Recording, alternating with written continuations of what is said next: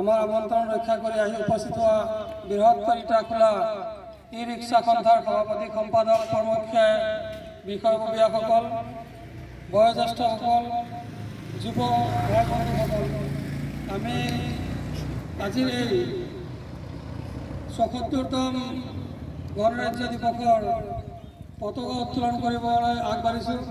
আমাৰ মাজত আমি আমন্ত্ৰণ জনাই অনা চতিয়া আঞ্চলিক পঞ্চায়তৰ সন্মানীয় সভাপতি শ্ৰী লক্ষীকান্ত বৰা দেৱক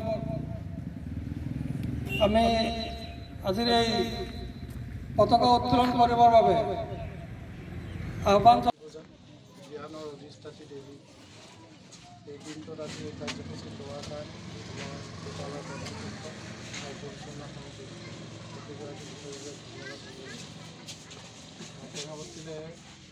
আহিছোঁ। তেতিয়া অলপ বিদ্যালয়ৰ পৰিৱেশবিলাক অলপ আগতকৈ ভাল। তো ভাল লাগিছে যে এখন বিদ্যালয়ৰ প্ৰধান শিক্ষক ইয়াৰ সহকাৰী ইয়াৰ পৰিচালনা সমিতিৰ সভাপতি ইয়াৰ সদস্যসকল মহিলাসকল। টেঙাবস্তিত যথেষ্ট ছাত্ৰ ছাত্ৰী আছে আৰু ইয়াতে যথেষ্ট ভাল ছাত্ৰ ছাত্ৰীও আছে। আৰু এই ভাল ছাত্ৰ ছাত্ৰী বুনিয়াদী প্ৰাথমিক ইয়াৰ পৰাই বহুত ভাল ছাত্ৰ ছাত্ৰী ওলাই যাব।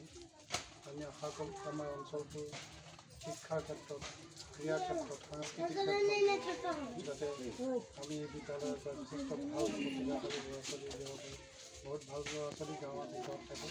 সেই ল'ৰা ছোৱালীখিনি উলিয়াই দায়িত্ব। প্ৰথম দায়িত্বটোৱে প্ৰাথমিক বিদ্যালয়ৰ শিক্ষকৰ যাব আৰু পৰিচালনা সমিতিয়ে কৰি গতিকে আপোনালোকে যি ধৰণৰ এটা সমূহীয়া প্ৰচেষ্টা ইয়াত চলাই গৈছে তাৰ কাৰণে মই সকলোকে ধন্যবাদ জনাইছোঁ। আপোনালোকৰ প্ৰচেষ্টা সেই সময়ত ভাৰতৰ প্ৰধানমন্ত্ৰীৰ নেতৃত্বত ভাৰত ৰাষ্ট্ৰই ৰাষ্ট্ৰসংঘৰ মজিয়াত আন্তঃৰাষ্ট্ৰীয় বিভিন্ন পৰ্যায়ত ভাৰতক সামৰিক ক্ষেত্ৰত অৰ্থনৈতিক ক্ষেত্ৰত আজি ভাৰতবৰ্ষক এখন সন্মানীয় ৰাষ্ট্ৰ হিচাপে সকলো গণ্য কৰিবলৈ বাধ্য হৈছে আৰু পৃথিৱীৰ যিকোনো সিদ্ধান্ত লোৱাৰ ক্ষেত্ৰত ভাৰতবৰ্ষলৈ গণৰাজ্য দিৱসৰ শুভক্ষণত অসমৰ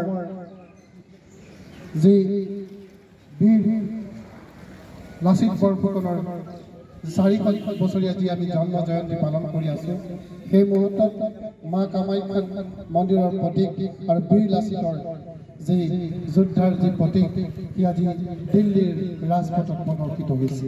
ই আমাৰ কাৰণে এক গৌৰৱৰ বিষয় যে ভাৰতবৰ্ষৰ এই অসম ৰাজ্যত বিভিন্ন জনগোষ্ঠীৰ ৰাইজে বিভিন্ন ধৰ্মৰ মানুহে ইয়াতে উদাহৰণ হিচাপে লৈ যে সকলো ধৰ্মৰ মানুহ সকলো জাতিৰ মানুহে জনগোষ্ঠীৰ মানুহে আমি সমভাৱে বসবাস কৰি এই সমগ্ৰ অসমখনক ভাৰতবৰ্ষৰ মজিয়াত এক সন্মানজনক স্থিতিলৈ লৈ যাবলৈ আমাৰ ৰাজ্যখন সক্ষম হৈছে।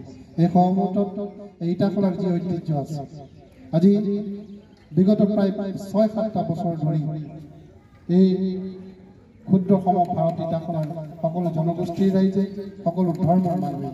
সদায় একতাৰ দোলেৰে বান্ধি সকলো ক্ষেত্ৰত আমি সমানে সকলোকে সমদৃষ্টিৰে আমি দি আমি সকলোৱে একেলগে হাতে হাত ধৰি আগুৱাই যাবলৈ সক্ষম হৈছোঁ। মই আহ্বান জনাম যে ব্যৱসায়ী সন্থাৰ আজি যি সুন্দৰ আয়োজন আপোনালোকৰ এই প্ৰচেষ্টাই অব্যাহত ধাৰাবাহিকভাৱে আৰু ইয়াক আপোনালোকে আৰু দৃষ্টিনন্দন কৰক ইয়াক বৰ্ধিত কৰক আৰু ইটাখলাৰ যি ঐতিহ্য পৰম্পৰা আছে আজি পঞ্চাছ ষাঠি বছৰৰ ইয়াৰ ঐক্য ইয়াৰ সম্প্ৰীতি ইয়াৰ বিভিন্ন জনগোষ্ঠীৰ সমন্বয় ইয়াক যাতে আমি সমান্তৰালভাৱে আগুৱাই এই অঞ্চলক আগুৱাই নিব পাৰোঁ। আমাৰ মাজত থকা ভেদাভেদৰ ভাৱ পৰিহাৰ কৰি আমি যাতে একেখন পতাকাৰ তলত তেনেকৈ সমবেত হৈ আমি অনাগত দিনত সকলোৱে হাতে হাত ধৰি আগুৱাই যাব পাৰোঁ আৰু ব্যৱসায় সন্থাই ন ন কাৰ্যসূচীৰে এই ইটাখলাক চলাই তোলক। এই ইটাখলাক আমি এখন আধুনিক ইটাখলালৈ পৰিৱৰ্তন কৰাৰ কাৰণে আমি সকলো ধৰণৰ প্ৰচেষ্টা আমি অব্যাহত ৰাখিছোঁ আৰু এই ক্ষেত্ৰত সকলোৰে আমি সহযোগিতা দিছোঁ। মই ধন্যবাদ জনাইছোঁ যে ব্যৱসায় সন্থাৰ যথেষ্ট দায়িত্ব আছে। সেই দায়িত্ব আৰু কৰ্তব্য আপোনালোকে নৱনিৰ্বাচিত কমিটিখনে সকলোৰ লগত এটা বুজা পৰা আৰু এটা আন্তৰিক সুন্দৰ পৰিৱেশত আপোনালোকে ইয়াৰ থকা প্ৰতিটো অনুষ্ঠান প্ৰতিষ্ঠানৰ লগত সমান্তৰালভাৱে খোজ খোজ হৈ যাব আৰু আমি ইটাখলাখনক গ্ৰীণ ইটাখলা আৰু ক্লিন ইটাখোলা কৰি যাতে এইখনক আমি চতিয়া সমষ্টিৰ ভিতৰত এখন আজি জ্ঞানৰ অধিষ্ঠাত্ৰী দেৱী সৰস্বতী পূজা আৰু লগতে সমান্তৰালভাৱে ছসত্তৰতম গণৰাজ্য দিৱস। দুয়োটা দিন এই শুভ দিন একেলগে বিদ্যালয়সমূহে উদযাপন কৰিছে। ইয়াৰ হিচাপে আজি আমি অসম চৰকাৰৰ শিক্ষা বিভাগে বিভাগৰ আই আৰ ডি এফৰ অধীনত আগবঢ়োৱা চতিয়া সমষ্টিৰ মানুহৰ মাননীয় বিধায়ক মহোদয় আগবঢ়োৱা টেঙাবস্তি প্ৰাথমিক বিদ্যালয়ৰ এটা অতিৰিক্ত শ্ৰেণীকোঠা আজি আনুষ্ঠানিকভাৱে মুকলি কৰিছোঁ। খুব সুন্দৰ হৈছে। অঞ্চলত যথেষ্ট ছাত্ৰ ছাত্ৰী আছে এই অভাৱ ছাত্ৰ ছাত্ৰীৰ অভাৱ দূৰ কৰাৰ লগতে শৈক্ষিক পৰিৱেশ সৃষ্টি কৰিম ইয়াৰ লগতে আজি আমি ইন্দিৰা গান্ধী আদৰ্শ মধ্যমীয়া বিদ্যালয় সেইটো